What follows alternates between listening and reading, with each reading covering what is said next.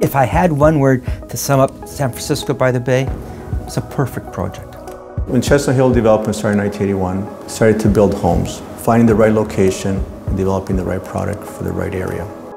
The Pickering Marketplace is very unique and is on the verge of a large real estate explosion. This is being led by Chestnut Hill Developments at San Francisco by the Bay. Even though we're a city, we still have that small, tight community feel. It goes back to when we talk about a sense of place, a sense of community. We bought from Chestnut Hill before. We bought here as an investment originally, but once we came up to the area, walked around, went down to the marina, Frenchman's Bay, over by Lynn Conservation Area, we've made a choice rather than using it as an investment, we're actually going to move here and live here. The reason why I bought uh, from Chestnut Hill Homes is their reputation in the industry is very good. Pickering is a growing community. We're growing from approximately 100,000 today to 200,000 over the next 20 to 25 years.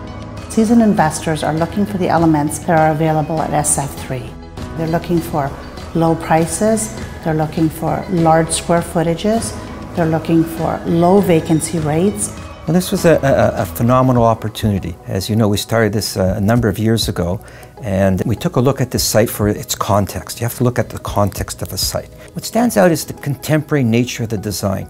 We're doing these live, work, play, shop communities across the country. We like these mixed-use sites that are near mobility nodes, transit nodes, have access to great amenity areas. This site had all these components. It has the highway, has the railway, has the GO station, has the shopping at the town center, and has its own sense of community.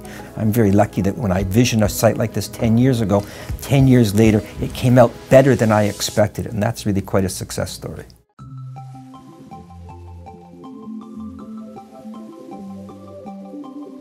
When you drive into this site, which we're using feature materials, feature paving, and it becomes more of a pedestrian zone rather than a vehicular access. When we started to look at inspiration for the building, we were looking for warmth. We were looking for a casual yet elegant aesthetic, more cleanly designed but very tactile, and the elements of wood and grain and stone.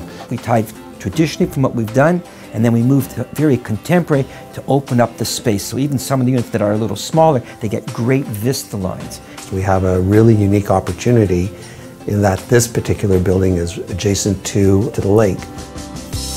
In the final point tower, 80% of the units view the lake because you set it on the angle and you view southeast and west, but water is southeast and west. And the north view is the town center, but the corner units get both. So all you had was two units out of 10 that didn't have a full lake view. I think you're going to feel like you're walking into a beautiful resort. The uh, party room social area. It's a flex space. So you can have intimate gatherings like dinner parties and club-like parties, or you can open the whole thing up with and open it up to the outside as well. So you could have a gathering of 100, 150 people. And because we were an indoor-outdoor idea for the building, because of the pool, we thought this was really, really appropriate. We have one basic philosophy in developing communities. We find the right location, we produce the right product for the people in the area, and we give them what they want. The community, the owners, the client gave us the feedback, and we were then able to tailor this design to fit the community needs at this time. I think it's a great place to go home because it is a defined neighborhood. You have a nice access point, we have a stoplight entrance, it's easy to access, we're close to the GO station, we're near the amenities of Lake Ontario with all the parks and the water, and we can see it from our buildings. So I think it's a great place for people to live and a great place for young families to grow and a great place for young families as they get larger to stay.